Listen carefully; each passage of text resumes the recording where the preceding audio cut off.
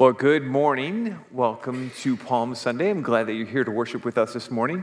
Uh, there's a couple announcements in the bulletin, uh, but one of the most important ones that we have coming up, I'm going to invite my friend Casey over to tell you about, and that is our Good Friday service. So take it away, Casey, please. Oh, okay. Uh, so, in the past, we've had some various uh, services for Good Friday. It's been, well, we didn't have one last year. Um, so, this year we will be having a prayer walk um, it will not take much of your time, and it's kind of uh, led, you know, on your own. Um, we have six different rooms with different uh, kind of focuses, and you just spend a few minutes in each room um, reading. There will be a particular scripture, and then maybe something that goes along with that, and you'll read that, and then you'll pray as a family, um, as a group, or on your own. However, you decide to, to approach it is wonderful. So there is a sign-up sheet just for the fact that uh, we wanted, we didn't want a lot of people to come all at once and then trying to space people out between different rooms because we're still practicing our social distancing. So um, we do not have many people signed up yet. So if you would like to come on Friday anytime between 4 and 7, we would love to have um, all of you. So sign up for a time slot uh, out at, in the foyer at the Welcome Center. Did I miss anything else? Yeah, no, that sounds we, great. Oh, we do need a couple more volunteers. We could probably make do with, we have, a, we have four volunteers already. Um, we could probably make do with them, but so that those volunteers didn't have to stay the entire time, it'd be nice to divide them up and say, okay, you stay for the first hour or hour and a half, and then you're free to do the prayer walk and leave. And then someone else can come do the prayer walk and then stay and just monitor a room. It might be like touching a button to play a video or play a song or just um, be there in case anyone has questions. So that is kind of a need still. If anyone's interested, you can contact me or Mike or Alicia. All right, excellent. So I'm excited. It'll be a, a contemplative opportunity for us to slow down from life mm-hmm. and spend time just reflecting on what Jesus did for us. Yeah. Awesome. Yeah, so I encourage you to sign up. Thank you so much, Casey. Yep. Hey, let's pray and let's worship this morning. So, God, thank you so much. Uh, thank you that we can gather together. Thank you so much for just all the different people who come together to make our society, our community work and run. And uh, we thank you for the, the, the medical teams. We thank you for the, the police and the fire and and those who run the grocery stores and the gas stations, and, and we're all connected together. And we thank you for how that works. We thank you for how you, you put us in different areas. And as ambassadors for you, as people who represent you, I pray that we will do a good job, that we will shine the light of your Son wherever we work, and that people will see the hope that we have, and that's your, your Son, Jesus Christ our Savior. God, I pray that as we worship today, that we can find the same joy and enthusiasm that those early believers did, that they had as Jesus came into Jerusalem. But God, I pray that we will have that joy and that encouragement and that is enthusiasm for the right reason, because your Son is our Savior from our sins. We love you, Lord. In the name of Jesus, we pray. Amen. And uh, good morning. Welcome to Defiance Christian Church. Let me invite you, if you're able to, to please stand with us. And as Mike said, we're going to worship this hour, uh, but we're going to start off with some songs.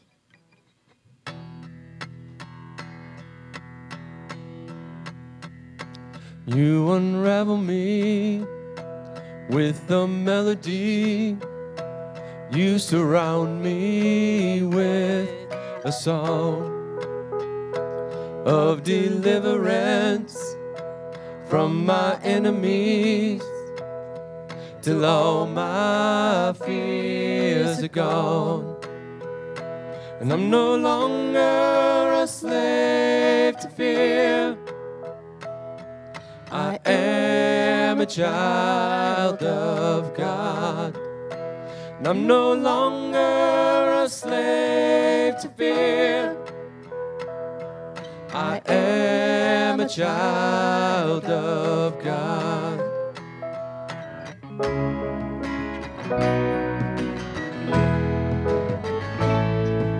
But when the set time had fully come, God sent his Son, born of a woman, born under the law, to redeem those under the law, that we might receive adoption to sonship.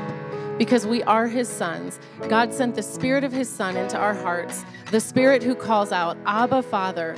You are, so you are no longer a slave, but God's child. And since you are his child, God has made you also an heir.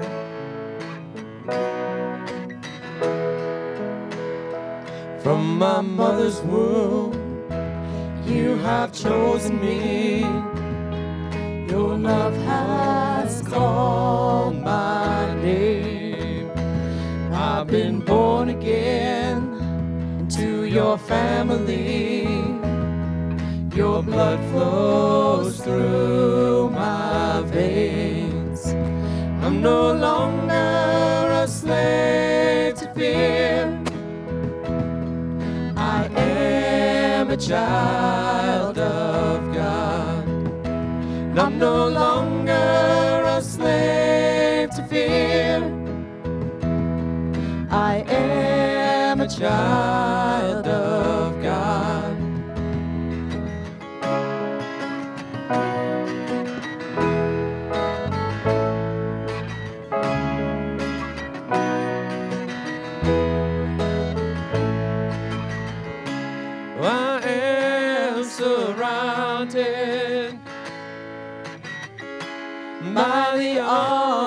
of the Father.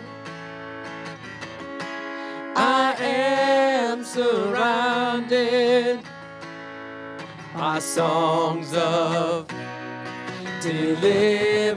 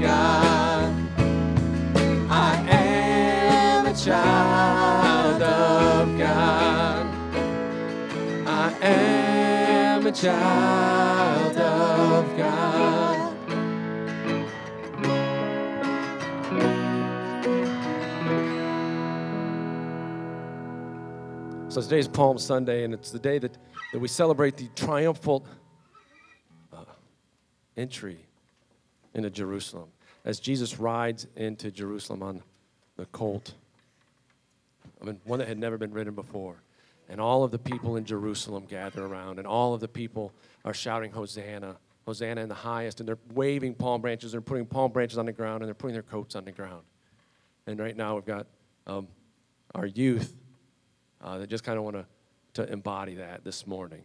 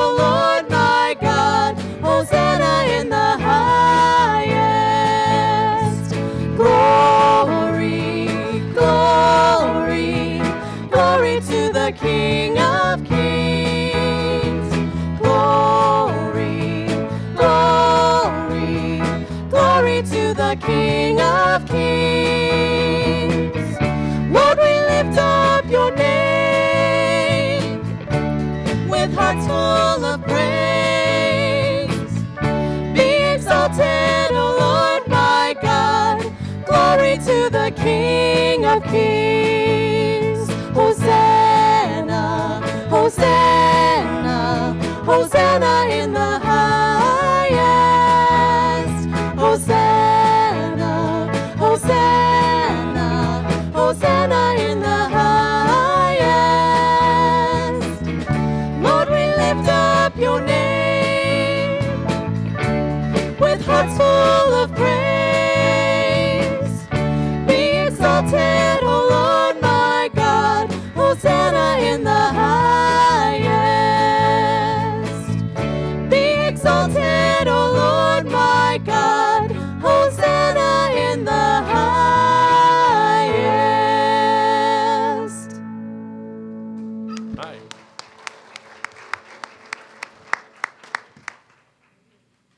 So this next one is, is a new song. It's called Evidence. Uh, and it's extremely fitting for this time of year. Uh, it's fitting for every time.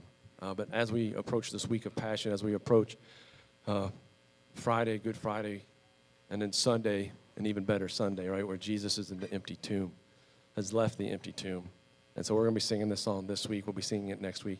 And again, that's so we can learn it, so we can know it, so that we don't have to necessarily think about the words, but that we can sing it as a praise.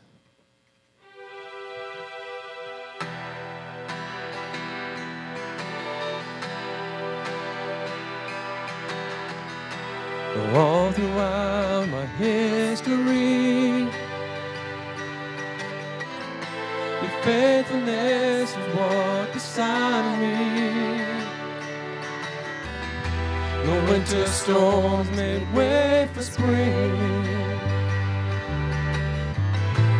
Every season, from where I'm standing, I see the evidence of your goodness all over my life, all over my life.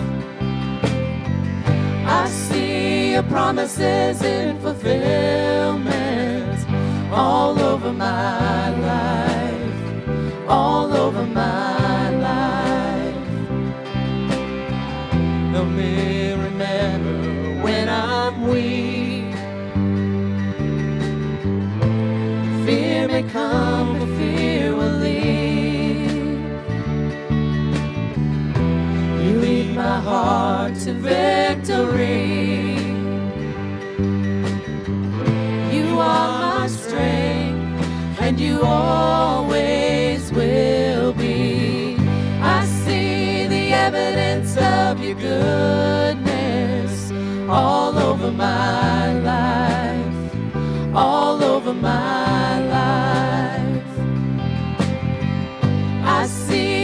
promises in fulfillment all over my life, all over my life. See the cross, the empty grave, the evidence is endless. All my sin rolled away because of you, oh Jesus.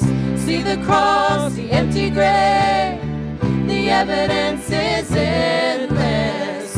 All my sin rolled away because of you, oh Jesus. Oh,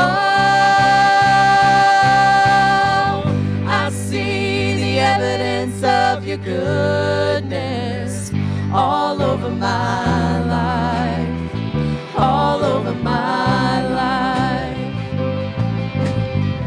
I see your promises in fulfillment all over my life, all over my life. I see the evidence of your goodness all over my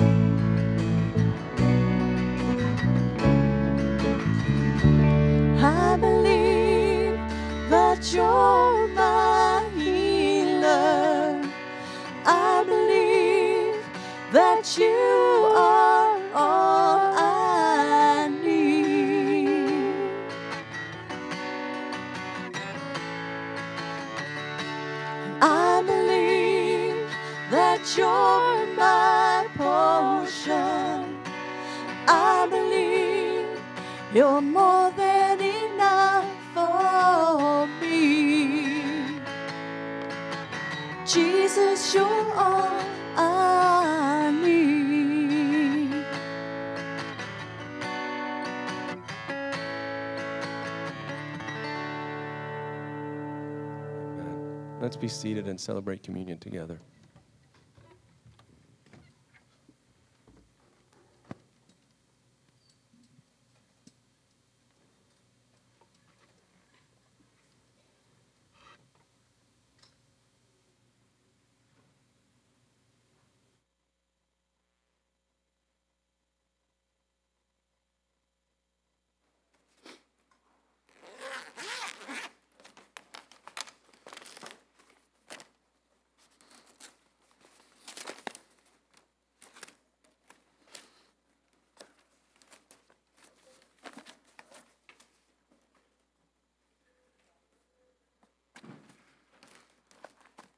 I was going to do the communion meditation today from Psalms 8 4, and then after I thought about what week it was and what was going on, I thought uh, it would be great to do this to probably the most recited verse in the Bible.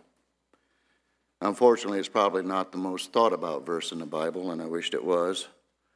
John 3 16.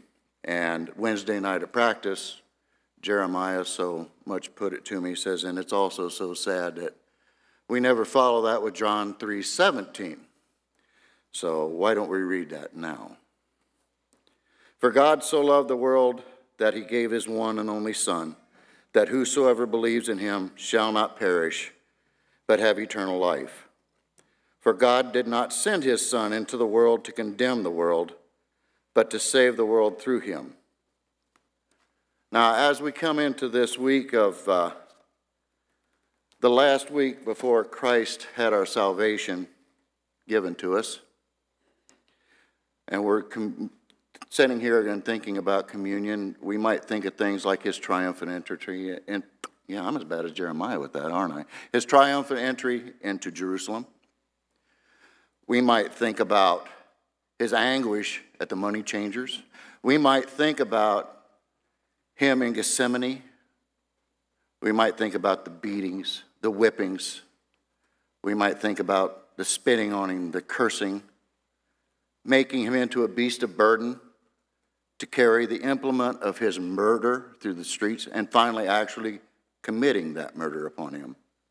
Of course, we're lucky enough to know that three days later, he rose, defeating earth with our salvation in hand.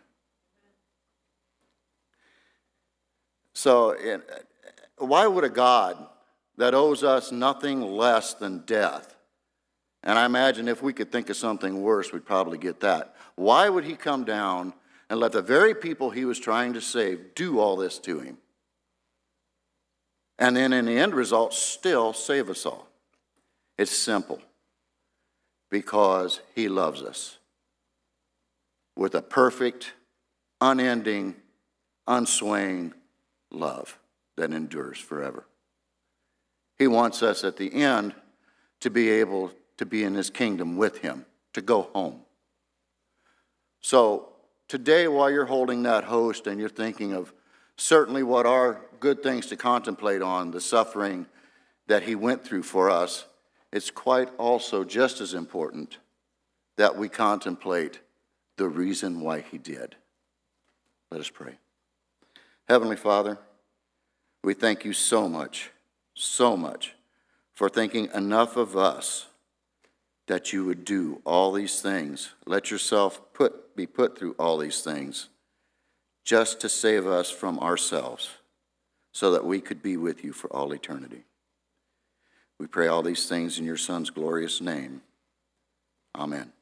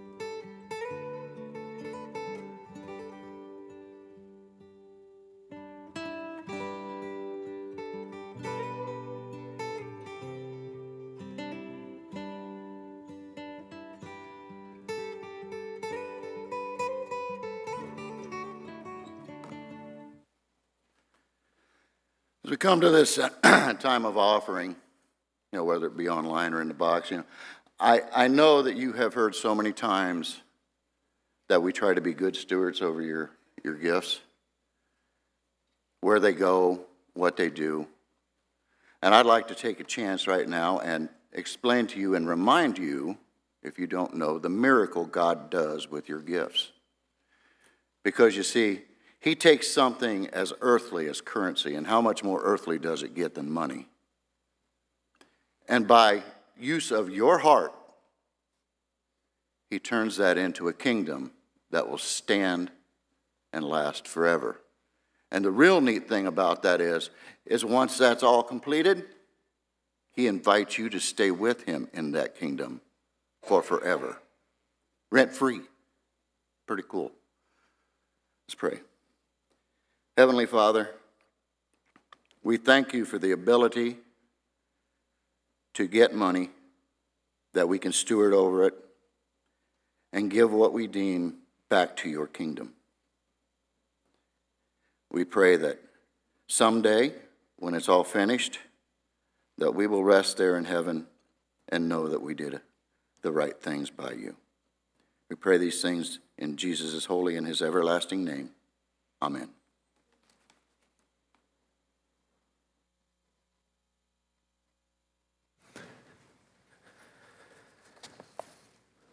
Well, I'm excited to look out and see people in the sanctuary, okay? Because it was a year ago, March 22nd, 2020. It was a year ago that I started preaching to an empty room.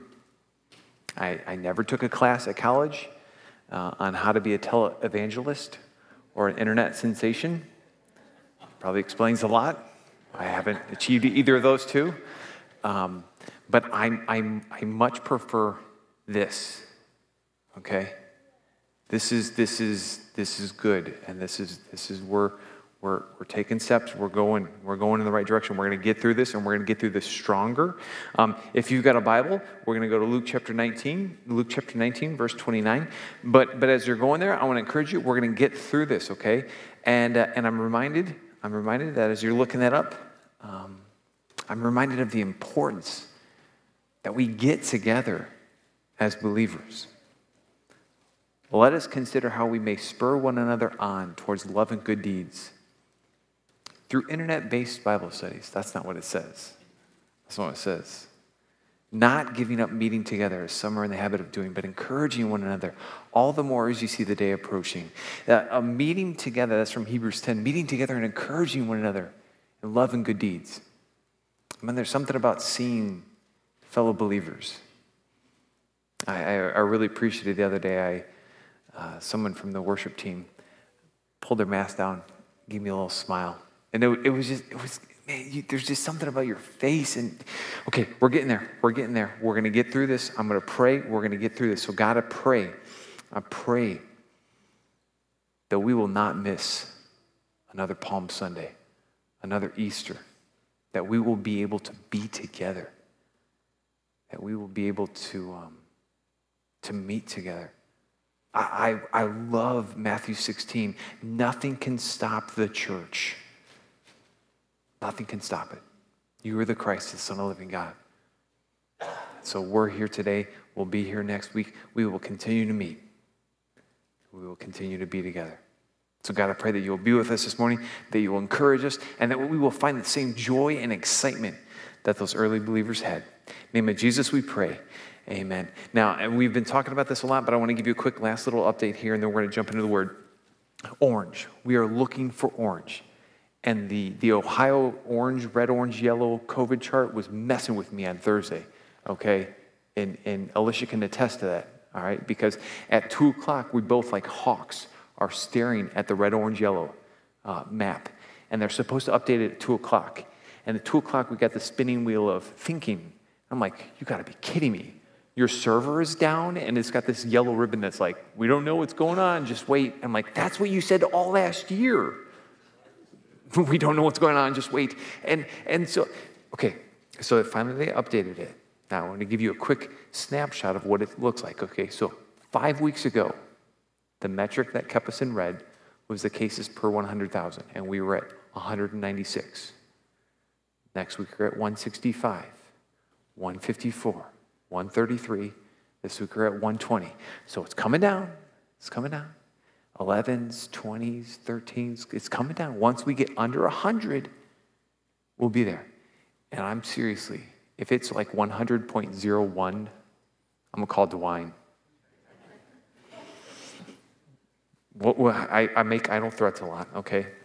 We got to get down below 100,000, uh, be below 100, at 100,000, then we'll switch to orange, and then we will wisely and smartly uh, fire a bunch of stuff back up, okay? We're going to get our, our Sunday school program going again, junior church is going to be going again, uh, youth group is going to be going again. We're going to get those programs going again, but we got to, that was the, that was the thing that we chose. We said we got to get back to orange. Once we get back to orange, then we can responsibly restart this thing. And so that's what we're that's what we're we're, we're wait, waiting waiting for. Okay, so um, we just need to pray harder, right?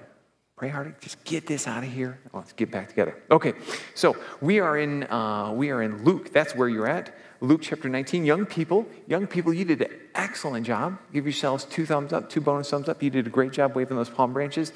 I was watching for the palm leaf slap, uh, which none of you did, and I'm giving you that idea now because you'll forget about it next year. Uh, and way to say no to temptation. So good job. Um, but that was that was good and that was appropriate because that's what that's what the people did when Jesus came into town. Luke chapter 19. We're going to read the story and then we're going to do some, some, some context. So we're going to read this story, and then we're going to talk about why it's so important. Um, so Luke chapter 19, uh, as they, verse 29, as they approached Bethphage from Bethany at the hill called the Mount of Olives, he sent two of his disciples, saying to them, Go to the village ahead of you, and as you enter you will find a colt tied there, which no one has ever ridden. Untie it and bring it here. Now, I don't know if you've ever ridden a horse. Who's ever ridden a horse or donkey? How many, have you ever ridden a horse? Have you ever ridden a donkey? Any, we got any donkeys? Oh, all right. Sorry. Anybody who's ridden a donkey? I'm a donkey. Okay. I have never ridden a donkey. I have ridden a horse, but the horse that I did ride was very tame and domesticated. Um, I'm kind of adventurous, but I don't think I would go just hopping on a horse that's never been ridden before, especially for my grand entrance into the city. What's the best thing you got here? How about this wild, unridden colt? I'll take it. It's cheap. Yeah, this is, but this is what Jesus is doing. If anyone asks, verse 31, if anyone asks you, why are you untying it? Say, the Lord needs it. Those who were uh, sent ahead, went and found it just as he had told them. And as they were untying the colt, its owners asked them, Why are you untying the colt? And they replied, The Lord needs it. And they brought it to Jesus, threw their cloaks on the colt, and put Jesus on it. And as he went along, people spread their cloaks on the road. When he came near the place where the road goes down, uh, the Mount of Olives, the whole crowd of disciples began joyfully to praise God in loud voices for all the miracles they had seen. Blessed is the King who comes in the name of the Lord, peace in heaven and glory on the highest. If you look in the other Gospels, Matthew, Mark, and John, they use the word Hosanna, the word Jeremiah talked about earlier the Hebrew word for saves.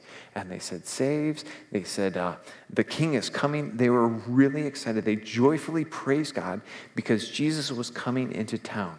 But let's dig into this because there's more than just Jesus randomly riding into town on a colt on some random day. This whole story is loaded with perfect timing. Jesus knows what time it is, where he's at, and where he's going to intentionally proclaim that he's the king. Jesus chose to show the world that he was the king at Passover time in Jerusalem. If you're taking notes, young people, Jesus chose to show the world that he was the king at Passover time in Jerusalem. Now, Passover is the Jewish celebration.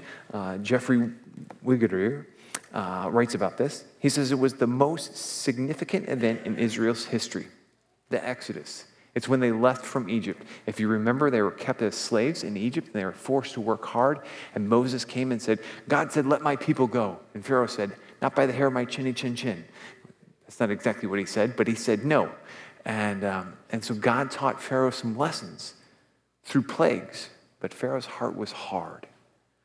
And he put up a big fight. But eventually, he, he succeeded, or he let them go. Um, and so Passover is a celebration of that exit, exit out of Egypt. Uh, it's celebrated on the 15th of the first month of Nisan. Uh, later, um, that month is March or April to our calendar. Um, after Passover Day, it would be a seven day celebration uh, of the Feast of Unleavened Bread to remind them of the speed at which they left Egypt. We got to get out and we got to go now. And so they didn't have time for the bread to rise, so they baked it without using yeast. And so the name also corresponds, Passover, corresponds to what happened during the 10th plague. If you look back to your Old Testament Hebrew, when, when Moses was talking to Pharaoh and saying, Hey, you got to let my people go. And Pharaoh's like, I'm not going to do that. Moses is like, Well, how do you like flies? Pharaoh's like, You're not going to do anything with flies. Moses is like, My God will. How do you like frogs? I don't like frogs either. And he just keeps bringing the plagues, and Pharaoh really has a hard heart. And on the 10th time, God says, That's it. He says, I'm going to send my angel over Egypt. And the firstborn in every household is going to die unless the Passover lamb is, is slain and the blood from this pure, innocent, perfect lamb is spread on the doorpost and on the top of the doorframe. If there's the blood applied to the doorpost and the doorframe, then the angel will pass over and the firstborn's life will be saved. And so this is the time that Jesus is riding into Jerusalem. So they're all celebrating Passover. They're all celebrating an exit from slavery because of the blood that was slain by the perfect lamb. And so we have the, the, this, you talk about a, a type uh, from the Old Testament to the New Testament, something symbolic of something coming from the Old Testament to the New Testament. This is perfect. Jesus knows what he's doing. You've got, you've got Jerusalem is packed. All Jewish males over the age of 12 were required to go to Jerusalem for Passover. So Jews from all over the Roman Empire were gathered together to celebrate this. They're loaded in Jerusalem. So there's massive crowds, massive popularity. Uh, if you remember, we're in March or April, sometime in there. And in January, Jesus raised Lazarus from the dead. And I really appreciate in the book of John where it talks about the, the people coming to Jerusalem. And they wanted to see Jesus because of the miracles that they had seen him do. Miracles are a, a way that God uses to authenticate his messenger. And in the book of John, they talk about Lazarus, that they want to see Jesus because he raised Lazarus from the dead, and they want to see Lazarus. And I feel bad for Lazarus because I can only imagine people are like poking him. He's not real. Is he real? I dare you to poke him. Poke him. He's a ghost. He's not a ghost. I saw him eat something. Ghosts don't eat things. And, and so Lazarus is there, and they're all trying to peek at Lazarus and look at him and look at Jesus, and the popularity is growing. And it's at this time that Jesus comes into Jerusalem because Jesus is our Passover lamb. Jesus is our Passover lamb. If you're taking notes, that's number two. Uh, he is our perfect, spotless lamb. Earlier, I mentioned when they celebrate Passover meal, before the angel of death came in the plagues in Exodus, they had to take that perfect lamb, sacrifice that lamb, and apply that blood to the doorframes of the house.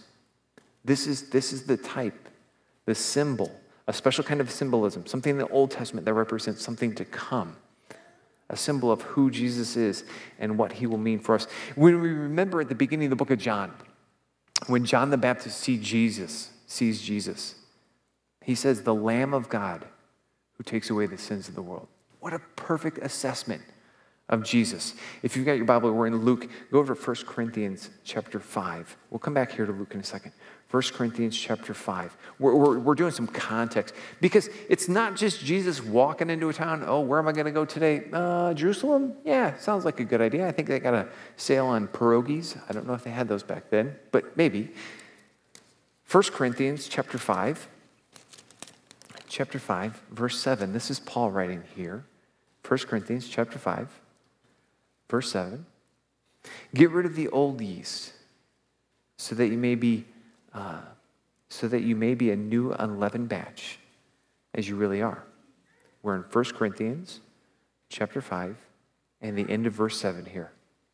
This is Paul writing, For Christ, our Passover lamb, has been sacrificed. Paul specifically identifies Jesus Christ as our Passover lamb.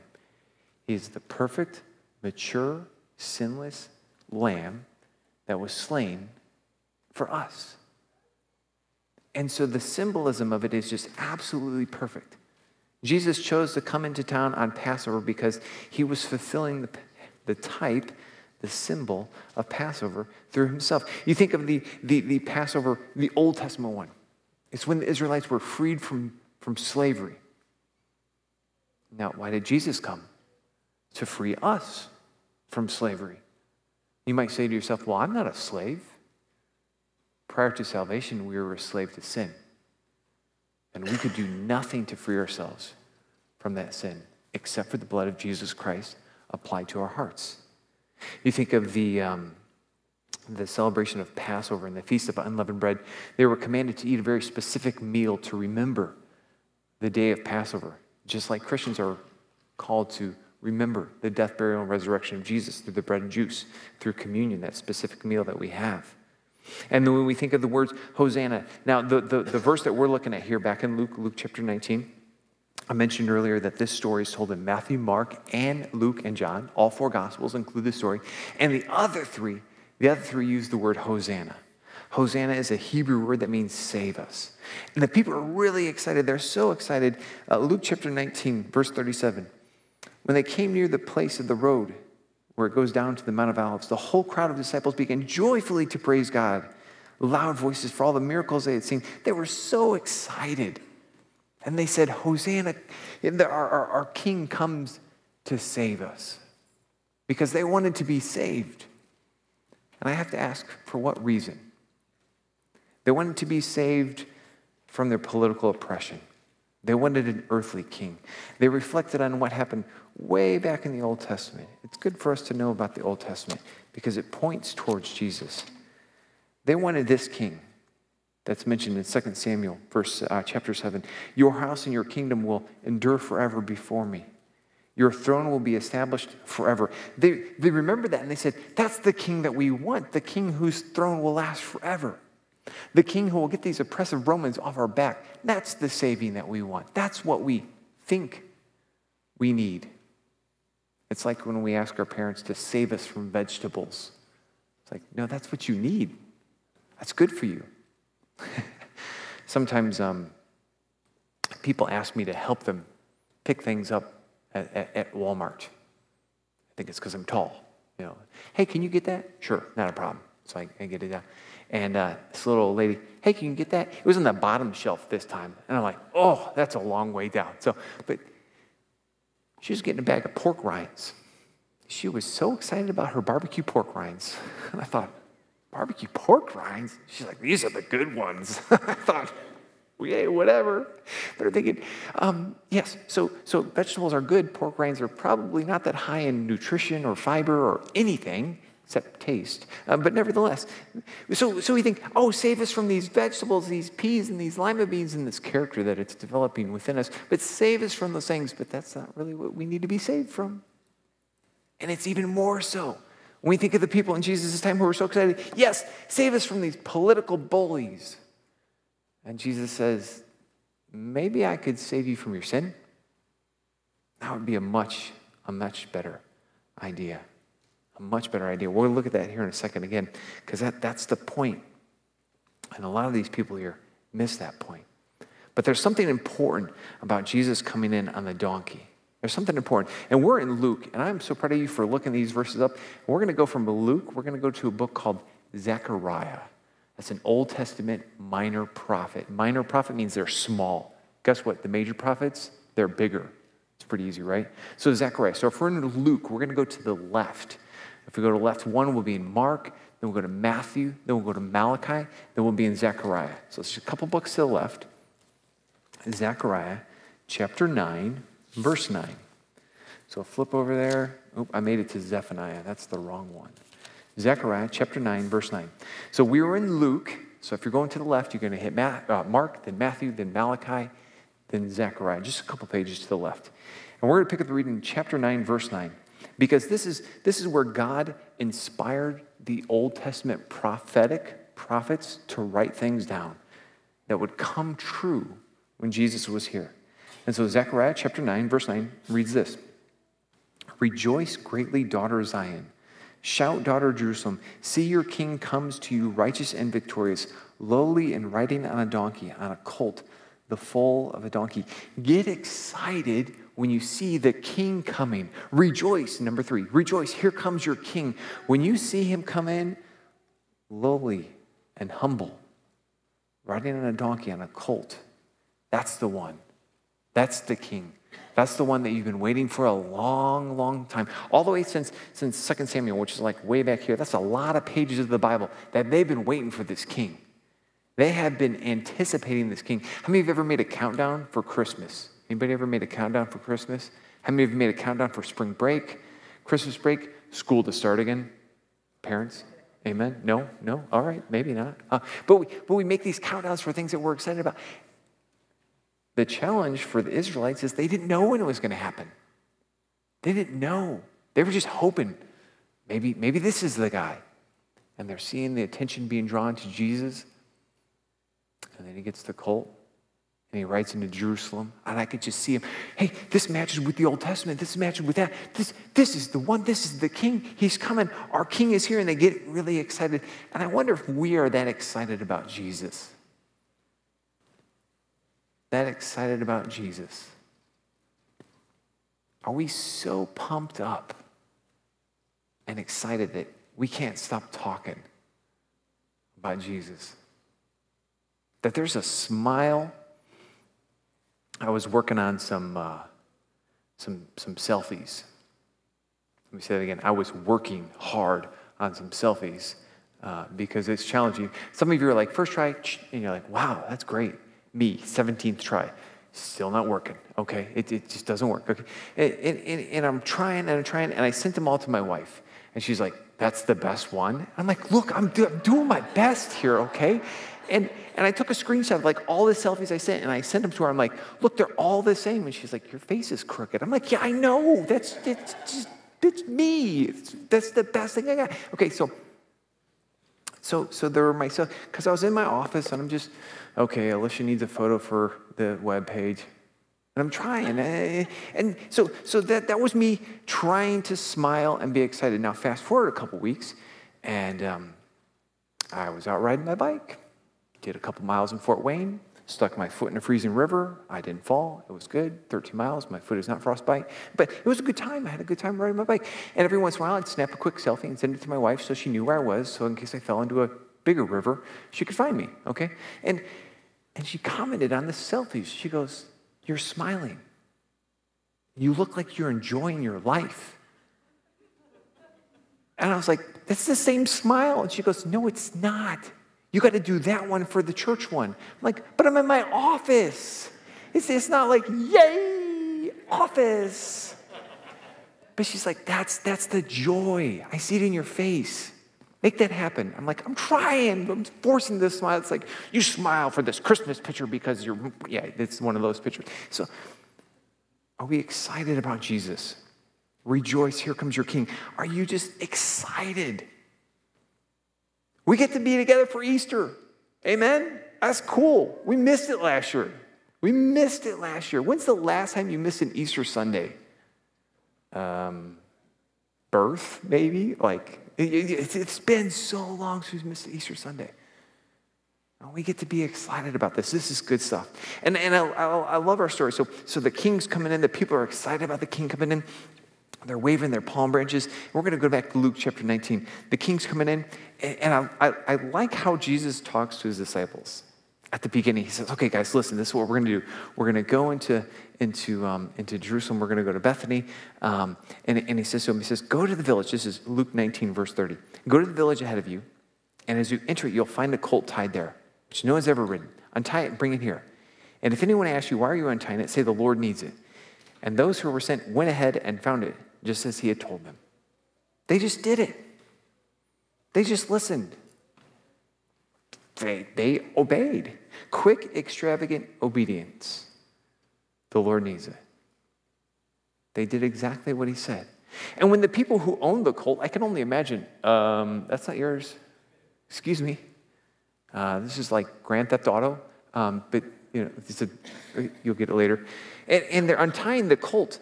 And the owner asked them, Why are you untying it? And the response is, The Lord needs it. Now, I tried that yesterday at Best Buy, okay? I guess with plasma screens it doesn't work, but nevertheless, okay? It was an attempt. Please don't follow that, okay? Um, but they just say, Look, the Lord needs it. And, and, and so Jesus looks at his disciples and says, I need you to do this. And they go, Okay, we'll do it. And the people who own the coat are like, What are you doing? And like, Jesus needs it. And they're like, All right, all right. We're, we're, we're on board with that. And Jesus says, I need you to do this. And we go, "Uh, Well, you know, that's going to be difficult. That's going to be challenging. That's going to take me out of my comfort zone. I really don't want to. And we make all these excuses. Quick obedience. I remembered a, a saying from elementary school delayed obedience is disobedience. And I never really understood it. Delayed obedience is disobedience. And then I had children. Well, and then I got married, and my wife looked at me and said, Delayed obedience is disobedience. Because when they have a postmark date by those Menards rebates, I hope they will take it a couple days late. But nevertheless, I forgot about it. Come on, give me some grace. But delayed obedience, I, I put it off and I procrastinated, and God says, What are you waiting for? Just do it quickly. Obey. Why? Because I asked you. If anyone would come after me, take up your cross daily and die to yourself. Today? You mean that? Yeah, today. Do it, do it quickly. And then there's a big word in the middle of that, that sentence. If you're taking notes, young people, you see that word extravagant? Extravagant, that's a that's a big, that's like a big church word. If you use that in, in uh, wow, if you use that in Scrabble, that's more than seven tiles. So clearly you're cheating. Um, but nevertheless, well, I guess you could build off extra and just put. Yeah, anyways, you figure it out. Extravagant is a, is a fancy word for something that's um, over the top.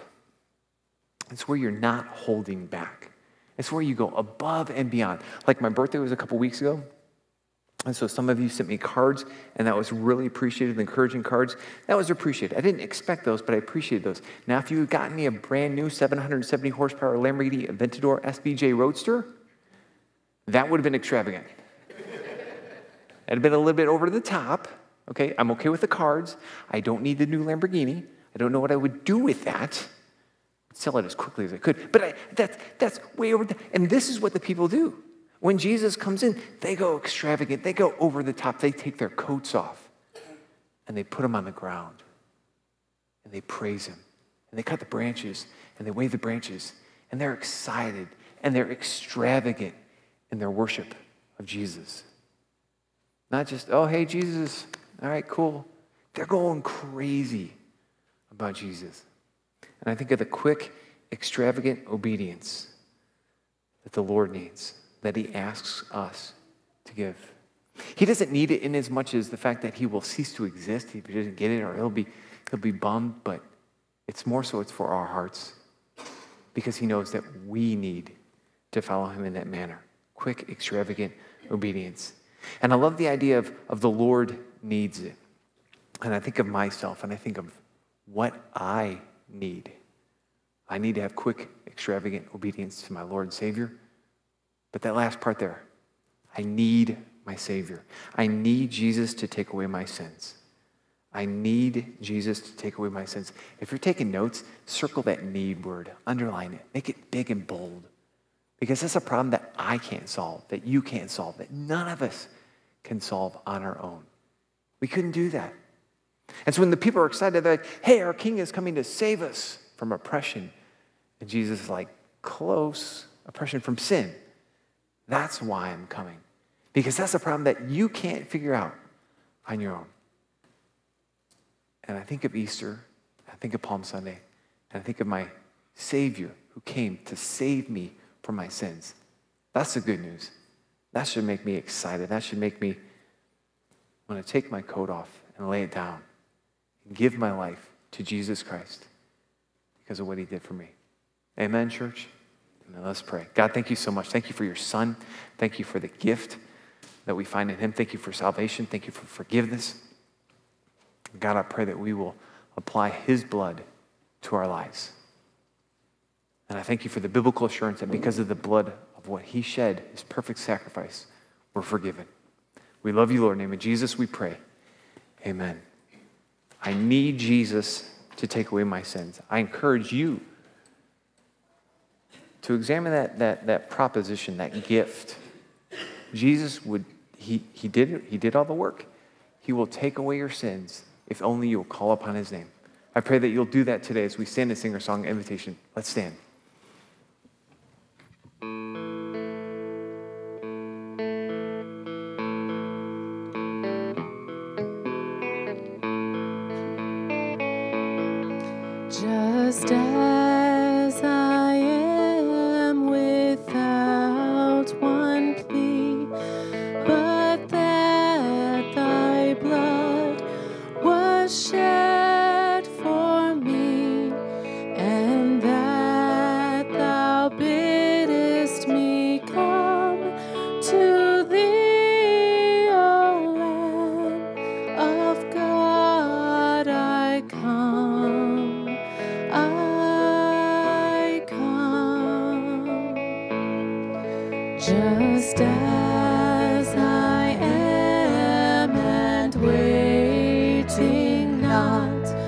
To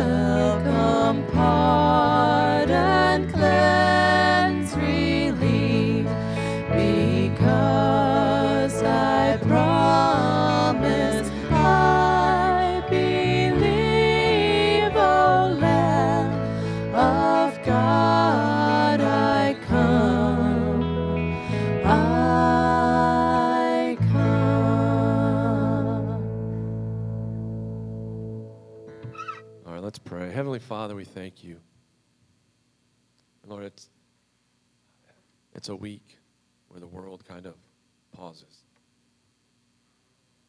A week where the world knows that something's about to happen.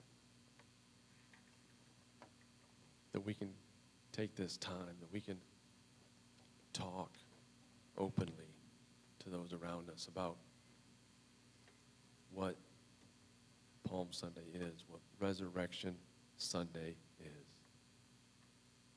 That we can be excited. Lord, you are good, and we thank you. In Jesus' name, amen. Have a great week.